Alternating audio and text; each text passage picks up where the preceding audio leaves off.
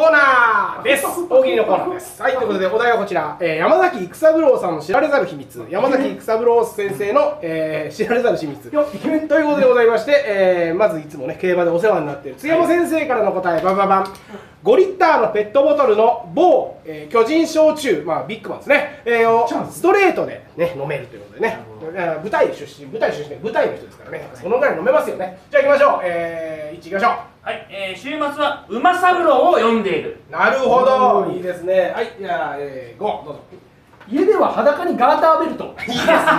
ということでございまして、山崎育三郎の知られざる秘密は、えー、本当は俳優じゃなくてオリックスに入りたかったでした。さよなら、いそうでしょ、名前が。はい。